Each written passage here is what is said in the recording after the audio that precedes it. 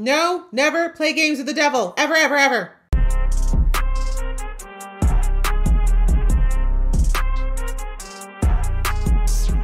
Hey guys, it's your girl Laisha, aka Geek XX Chic, and we are back with another reaction to The Legend of Vox Machina. We're now on season three, episode four, which is called Hell to Pay. And that's a great segue into what happened in the last episode. We had half of our team head into the depths of hell in order to get another one of the vestiges that they think they absolutely need in order to go up against Thordak. And the other half were fighting off the ice dragon because they were betrayed by a scorned lover. So they did manage to uh, escape this dragon on the outside, but there is still the time, the, the, the clock is ticking for them to get back to this door to hell because if they don't get back there in time, then the other half of the team will be trapped there indefinitely. And um, yeah, we haven't really seen where the team is getting it. Oh, sorry, the team in hell got to the city of Dis. Dis is a rock. Sorry. they managed to get just there when we ended the last episode. So a lot more shenanigans to ensue. Let's jump in. But just before I do, a reminder that if you'd like to be in the know when I drop these episodes, please go ahead and hit that subscribe button and that notification bell. All right, that out of the way, let's get into the episode right now. All right, she couldn't reach the Everlight because she's in hell. Everlight! It's me! Everlight's like, I don't answer calls from hell, madam. I am a holy creature. The hells of Despath are forbidden. But why? Excuse if we me? find Zerxus, we'll, You're we'll not get allowed the to ask vestige gods we need. why. There are those in hell who would use it for wicked aims. Ooh. And you will find yourself alone. I mean, that's really not her realm, sis. Oh. Oh. How about no to whatever that was? You goddess got our backs? Yeah, sure does. Lies! But at this point, I guess they don't need any. We're gonna Bad need news. all kinds of miracles. What are you talking about? I feel like you guys are underestimating the uh, the benefits. Think of how toasty you're gonna feel, the tan you might pick up, maybe get a nice sexy set of horns. I don't know, just potential is all I'm saying. Okay, maybe the screeching constantly would be a bit annoying. And the wailing, the general misery. Just in time for that season. Fuck yes. Bigger antlers. You okay? Those souls. Heck looks like a Wookiee.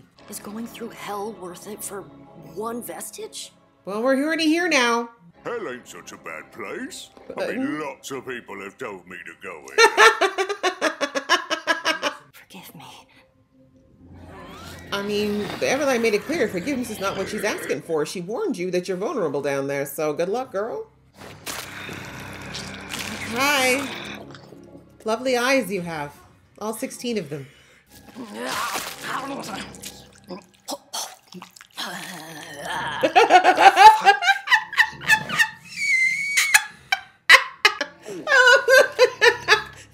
Even Vax was like, nope, I'm not getting that fart. Oh, that was gross. yeah. you smell different. I Oh, uh, we haven't bathed in Oh, a few the opposite. We're looking for someone named Zerxus.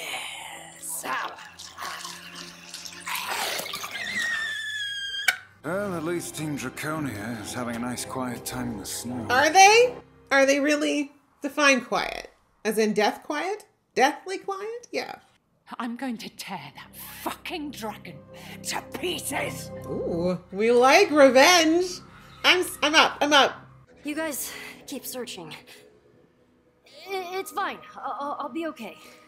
Drives me nuts. Spread out. After everything this group has been through, we we're still keeping secrets. All this evil. Maybe the Everlight was right. Maybe We shouldn't be here. she said you specifically, actually.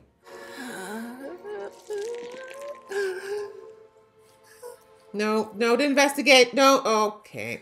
I only want to help Don't use your power down here. redeem this woman with your healing light. There's no redemption in hell. Pike, you just don't listen.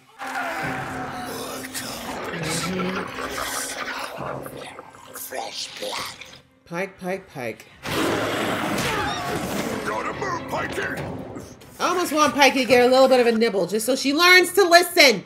I get it. I know it's in her nature to help, but I'm just saying, like, the Everlight. The Everlight told her, girl, keep to yourself. That scene, though. The slow mo.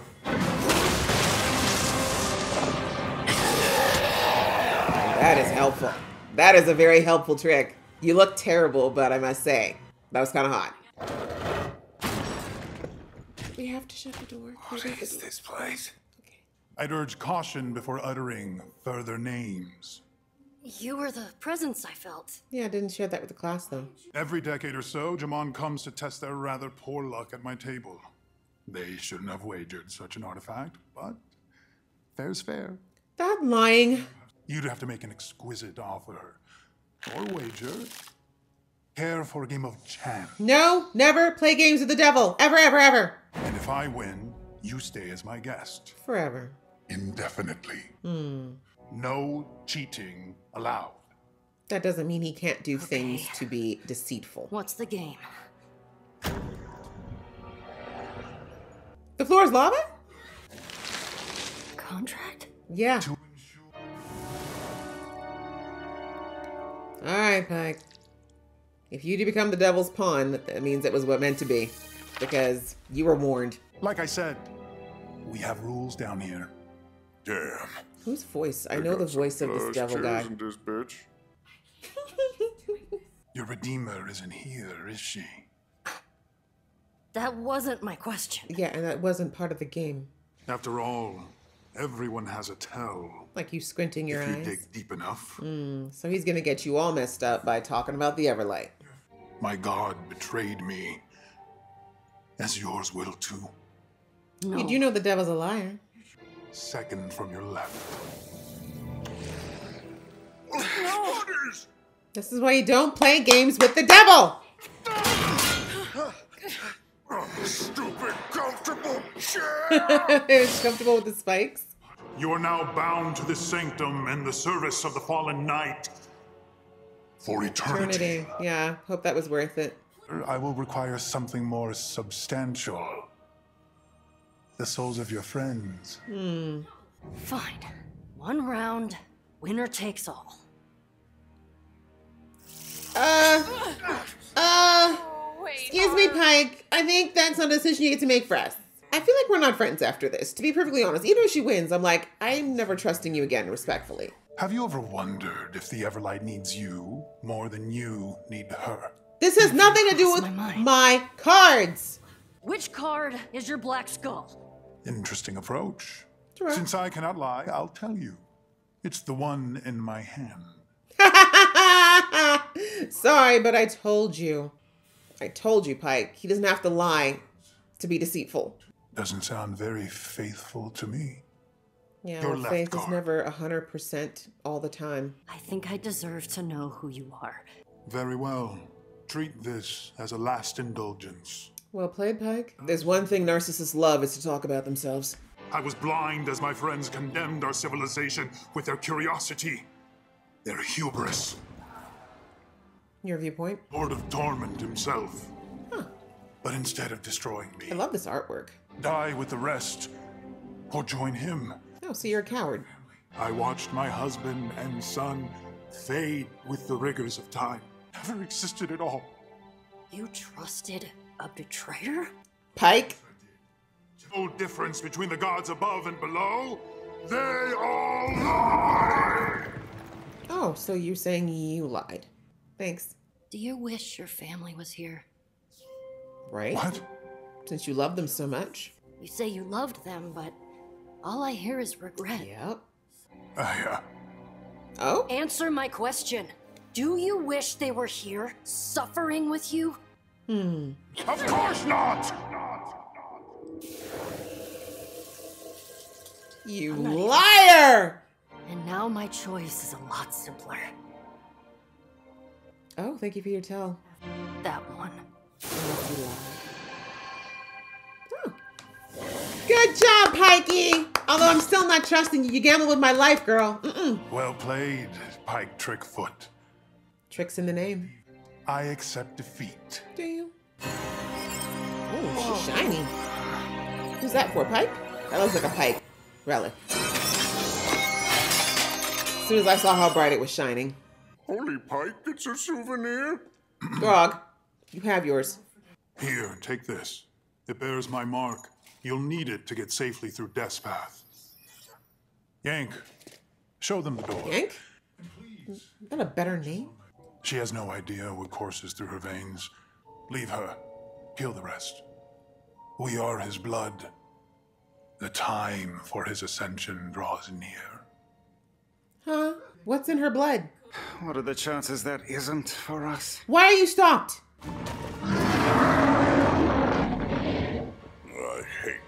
Yeah, me too. Me too. But that's what you get. Why are you still standing there? I'm sorry. I hear that noise and I'm running faster because y'all are literally in hell. So you're just like, let me just chill, look, see if we can figure. No, let's run. Running first, thinking later.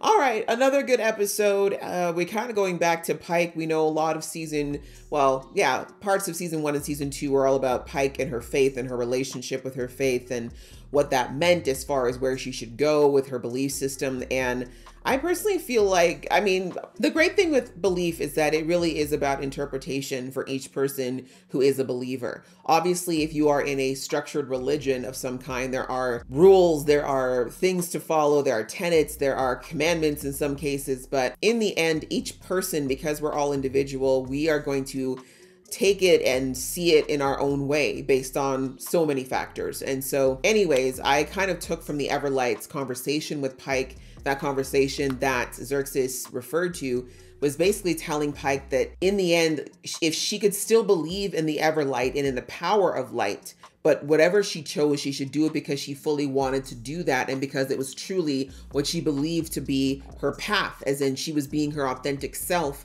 while following it right? And she basically said that, you know, the Everlight will be there as long as there's belief. It just depends, you know, what path you take is up to you.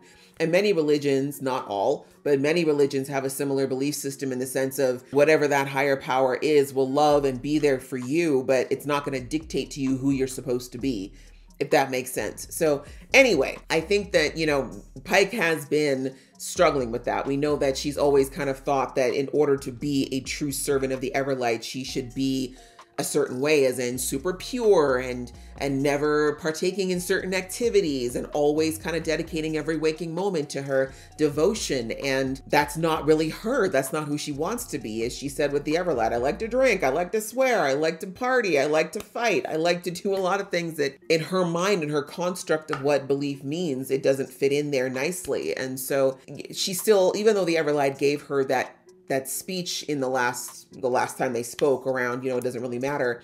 It looks like pike is still struggling with that or thinking that maybe she still is not worthy in some respect. And that does also often come a lot with belief systems as well of, of wondering if we live up to what it is that whatever it is that we are devoting ourselves to serving worshiping whatever the case may be like are we actually living up to what's required and so now with her going down into hells, I mean, again, the Everlight, I wouldn't say is necessarily heaven, but a lot of the imagery that they paint around that definitely feels like it's supposed to be a likeness to heaven. So Pike going to the absolute opposite of that, it makes sense that her connection with the Everlight was muted, if if anything. I wouldn't say it was completely severed, but definitely muted.